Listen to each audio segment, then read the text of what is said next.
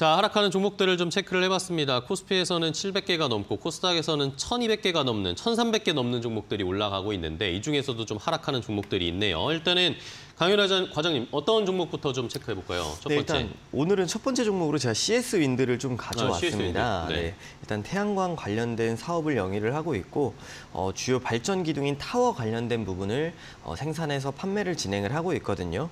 그리고 또 이제 국내만에서 판매하는 게 아니라 해외까지도 이제 법인을 이용해서 판매를 하고 있기 때문에 지금 상당히 큰 점유율을 가지고 있는 기업이다라고 그쵸. 보시면 되겠고 또 그렇다 보니까 아무래도 명실상부한 이 어, 해상 풍력 관련된 이런 산업에서는 거의 독보적인 대장주라고 보시면 좋을 것 같습니다.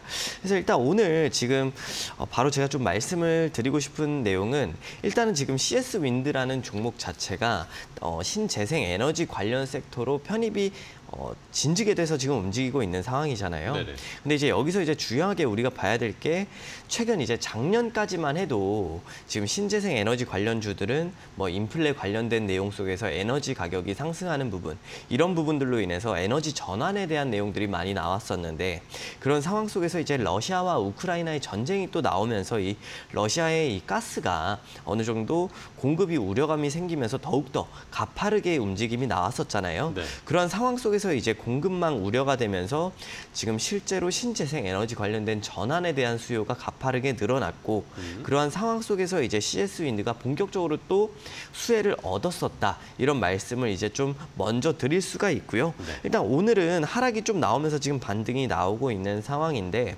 지금 CS 윈드 관련된 부분은 사실 어, 지금 계속해서 좀 에너지와 관련된 신재생 에너지 관련된 완화적인 모션들이 좀 나오고 있다고 볼 수가 있을 것 같습니다.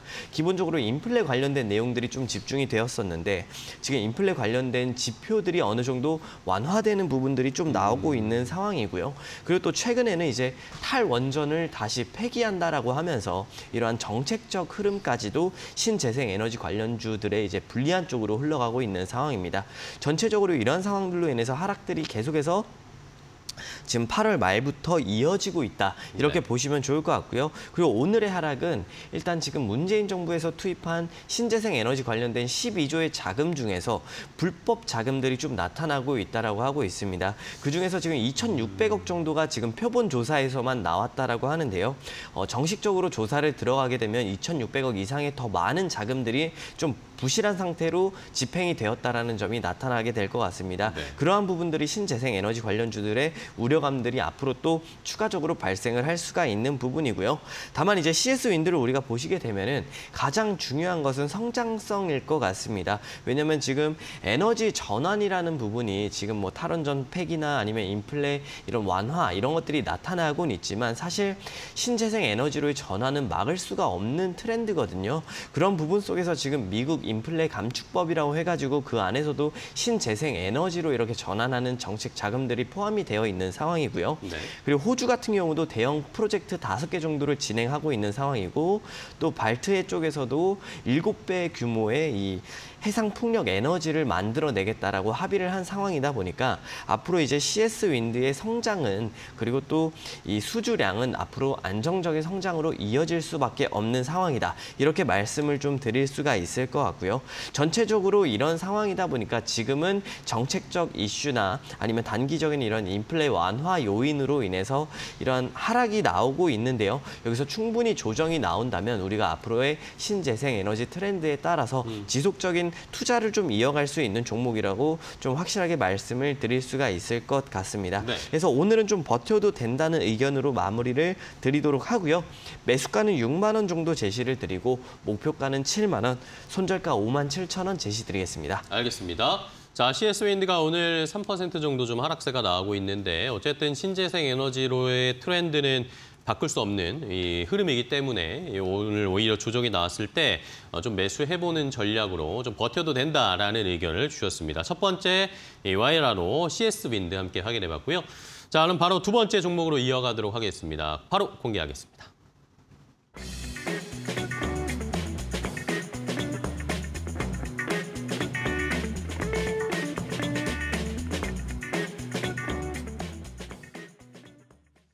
자, 자, 두 번째 와이라노 종목은 바로 라이온 캠텍입니다. 라이온 캠텍도 오늘 좀 하락세가 나타나는데 조금 생소하신 분들도 있으실 것 같은데 예. 또 물적 분할 이야기가 또 나왔습니다. 맞습니다. 지금 라이온 캠텍이 오늘 하락은 확실히 물적 분할 영향을 받고 네. 있다. 미리 먼저 말씀을 드릴 수가 있을 것 같고요. 일단 제가 오늘 이 물적 분할, 분할에 대한 내용과 그리고 지금 라이온 캠텍이 어떤 것들을 하고 있는지에 대해서 말씀을 빨리 드려보겠습니다. 네. 일단 라이온 캠텍 같은 경우는 건자재 내외장재 관련된 사업을 영위를 진행을 하고 있고요. 합성 왁스 그리고 이제 우리가 그 어, 합성 왁스랑 지금 네. 인조 대리석 관련된 OEM 사업을 진행을 하고 있거든요. 음. 어, 방금 어, 이 인조 대리석이 생각이 안 나가지고 네. 예. 일단은 인조 대리석 위주로 사업을 영위를 하고 있다라고 보시면 좋을 것 같고 추가적으로 합성 왁스 사업을 영위를 하고 있는데요. 어, 지금 글로벌적으로도 지금 되게 인정받고 있는 상품들이기 때문에 지금 경쟁사들의 고객들을 빠르게 좀 가져오고 있다 이렇게 보시면 오. 좋을 것 같고요. 지금 전체적으로 펀더멘탈적으로 보게 된다면 라이온 캠텍이 지금 실적이 전년도 92억 정도의 영업이익이 나왔었지만 지금 상반기에도 거의 50억 이상의 수준이 나와준 상황이기 때문에 지속적인 신고가 갱신으로 사업을 확장해 나갈 것이라는 기대감은 좀 있는 상황입니다. 네. 다만 이제 오늘 하락이 좀 크게 나오고 있는 상황인데요. 이건 방금 말씀드린 것처럼 물적 분할에 대한 내용 때문에 나오고 있는데 이 물적 분할과 인적 분할에 대해서 잠깐 말씀을 드리면 인적 분할 같은 경우는 우리가 사업을 하고 있더라도 여기서 인격체를 따로 분리를 해서 이제 지분 구조를 나눠 갖는 분할 구조를 우리가 인 어, 인적 분할이라고 분할. 말씀을 드리고 있고요. 그리고 물적 분할이라는 것은 지금 사업체가 이렇게 따로 분리돼서 지분이 분리되는 게 아니라 완벽히 독립된 기업으로 분할이 되어 가지고 어, 어, 지분만 이제 음. 주 자회사 개념으로 들어가게 되는 네. 그런 물적 분할 요소가 되는 부분인데요. 일단 결국 그렇게, 그렇게 되다 보니까 지금 어, 우리 물적 분할이 진행되었을 땐 투자자들이 결국엔 지분을 나눠 가지지 못한다라는 그렇죠. 단점이 있는 상황이고 네. 또 투자자가 아닌 이제 이 기업 입장에서 보시게 되면 기업가들은 별도의 회사가 설립이 되는 부분이기 때문에 자금 조달에 대한 어, 매각으로 인해서 자금을 조달할 수 있고 또 어, 이 사업에 집중을 할 수 있는 부분이 나타나기 때문에 더욱더 좋은 유리한 조건이다라고 보시면 좋을 것 같습니다. 다만 오늘 하락이 이렇게 큰 이유는 방금 말씀드린 것처럼 지금 우리 투자자들한테는 상당히 좋지 않은 흐름의 이 분할 조건이다라는 점을 보시게 되면 좋을 것 같고요. 그리고 실제로 지분을 갖고 있지 못하다 보니까 지분 가치의 변동이 커지기 때문에 우려감, 차익 매물이 빠르게 나오고 네. 있는 상황입니다. 전체적으로 이런 내용이다 보시면 되겠고 지금 결국에는 우리 라이온켐텍이라는 종목이 일단 물적 분할이 시작 시작되는 구간인 만큼 앞으로 이제 투자자들한테는 리스크 요인으로 좀 올 수가 있을 것 같습니다. 그래서 이러한 부분 속에서 어, 투자자분들은 리스크 관리하시면서 좀 보시면 좋을 것 같아서 오늘은 도망쳐야 된다는 내용으로 좀 준비를 했습니다. 손절가 만 원 제시드리면서 마무리 지도록 하겠습니다. 알겠습니다. 자, 라이온켐텍 물적 분할 이야기가 나오면서 지난 추석 전에 이야기가 나왔죠. 오늘 17% 넘게 하락하면서 1,650원 기록하고 있는데 만 원 이탈하면은 조금 도망쳐야겠다라는 의견까지 함께 주셨습니다. 자, 마지막 와이라노 종목도 함께 확인해 보겠습니다.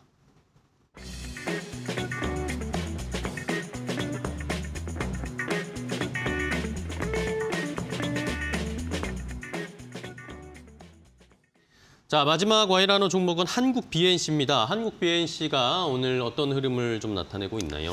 네, 일단 세 번째 종목 한국 BNC인데요. 이 종목 네. 아마 많이들 알고 계시는 코로나 치료제 개발 관련된 기업입니다. 네. 그래서 바이오 관련주다라고 보시면 되겠고 일단 한국 BNC는 안트로퀴놀로라는 어, 치료제를 개발하고 있는 기업이다 보시면 되겠고요.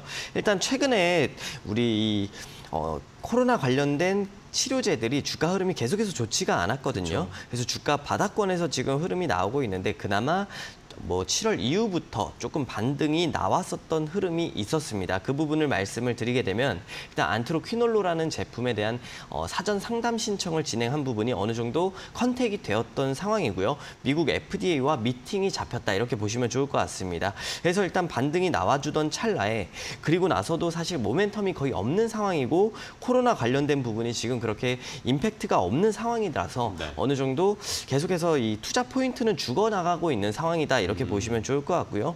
다만 이제 여기 오늘 강하게 하락이 나오고 있는데 이 부분도 지금 미국 FDA와 관련된 내용이 좀 나왔습니다. 지금 긴급 사용 승인에 대한 요청을 진행을 했음에도 불구하고 지금 한국 BNC 같은 경우는 FDA에서 의견을 받았는데요. 지금 유효성을 충분히 입증할 만한 내용이 없기 때문에 추가 임상을 권고를 받은 상황입니다. 지금 FDA와 사전 상담 미팅이 잡힌 것은 상당히 호재지만 이러한 상황에서 추가적인 임상 권고를 받았다라는 것은 아무래도 어, 미팅이 진행되어도 재차 또 임상에 대한 부분을 권유를 할 확률이 높기 때문에 이러한 우려감들이 나타나고 있다라고 보시면 좋을 것 같고요. 네. 전체적으로 코로나가 좋지 않은 상황 속에서 모멘텀이 딱히 기대할 부분이 없는 상황이다 보니까 이러한 FDA 내용 발언이 상당히 중요하게 작용하고 있는 상황이고요. 이 외에도 파생 상품 손실이 지속되고 있는 상황입니다. 그렇기 때문에 재무적 리스크까지도 계속되고 있다라는 점 우리가 보시게 되면 우리 이 종목은 우리가 투자 포인트로 잡아가기엔 조금 어려운 그런 상황이다라고 보시면 좋을 것 같고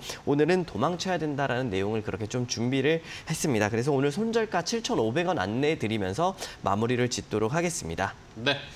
자, 한국 BNC까지 오늘 와이라노 종목 함께 확인을 해봤습니다. 한국 BNC가 오늘도 12% 넘게 하락세가 나타나고 있는데 오늘 시초가보다는 약간 일단은 높은 가격으로 형성되면서 아래 아, 좀 갭을 메꾸고는 있긴 한데 하지만 이 강현호 과장은 역시 예, 한국 BNC는 조금 도망쳐야겠다라는 의견으로 정리를 해주셨습니다.